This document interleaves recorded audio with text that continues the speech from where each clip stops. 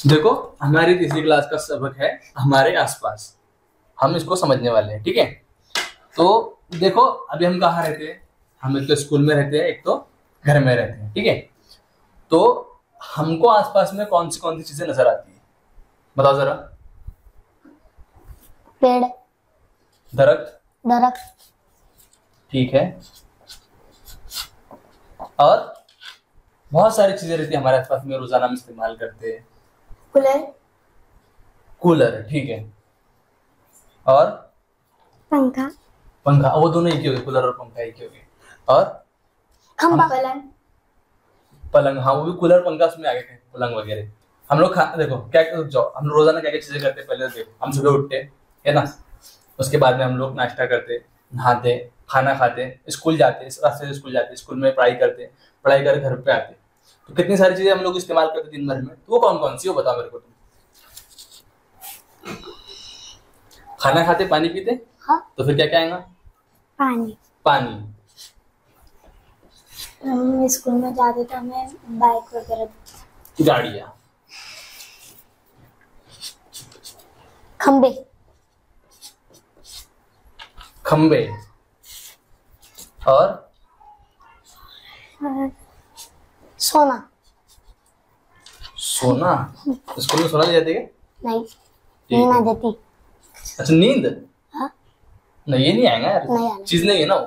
काम है वो तो और खाना खाते हम लोग? फूल सब्ज़ी? एसी। हाँ? एसी। कूलर में आ गया ना? एसी और कूलर अलग है ना। एक ही हो गया। ठंडी करे ना हवाई दे रही ना दोनों। काम तो एक करे ना। ठीक है तो मैं हम लोग खाते सब्ज़ियाँ लिख देता हूँ ठीक है? सब्ज़ियाँ ठीक है? और जानवर दिखते हैं हमारे रास्ते से जाते वक्त? बकरी। तो तुमको क्यों नहीं आया? पहले से जाओ। है ना? जानवर देखते हो ना हम लोग? ठीक है। जानवर। गाय। हाँ जानवर में आगे गया ठीक है? ओके और? दूसरी चीज़ें? और? चलो ठीक है अभी हम लोग? हाँ घर भी आते हैं। घर ठीक है? और? बयास।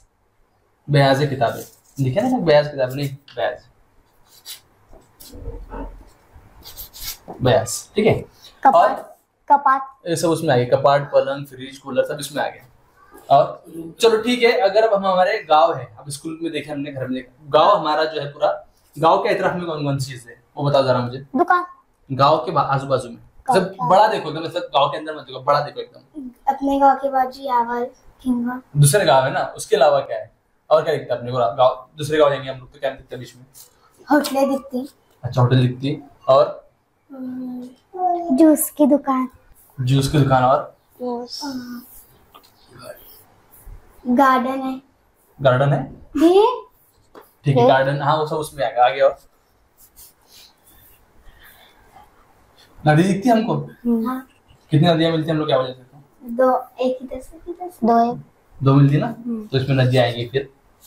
पहाड़। पहाड़। नदियाँ और पहाड़। वाटर पार्क वो भी मतलब वो सब उसमें आ गया ना गार्डन वाटर पार्क ठीक है? और क्या चीज़ें दिखती हैं हमको? परिंदे। हाँ। है ना। हम जानवर लिखे परिंदे नहीं लिखे। परिंदे। ठीक है? ठीक है? परिंदे। और कौन कौन सी चीज़ दिखती है हमको? और तुम रास्ते से जाते दरख्त दिखते हैं। दरख्त दरख्त हो। गया और? हाँ, ठीक है। और क्या दिखता? हम्म? और हॉस्टल। किसका हॉस्टल दिख गया ठीक है वो सब चीज़ें उसमें आ गया बिल्डिंग है घर हॉस्टल सब उसमें आ गया। हाँ। और दूसरी कोई चीज़ें ठीक है? हाँ। ठीक है तो इतनी सारी जो चीज़ें हम लोग हमारे आसपास में देखते हैं ठीक है? हम्म। अब इसमें कितनी सारी चीज़ें हैं जो हमारे आजू बाजू है तो इन सब चीज़ों से मिलके क्या बना हुआ है? सब चीज़ों को हम लोग इस्तेमाल करते हैं। हाँ। देखो नदी का पानी इस्तेमाल करते हैं घर में हम लोग रहते हैं कूलर पंखे सब इस्तेमाल करते हैं जानवरों को हम लोग खेती बाड़ी के लिए इस्तेमाल करते हैं नहीं तो खाने के लिए इस्तेमाल करते हैं। सब्ज़ियाँ हम लोग खाते हैं ना दरख्तों को हम इस्तेमाल करते हैं। सब चीज़ें ठीक है सब इस्तेमाल करते हैं।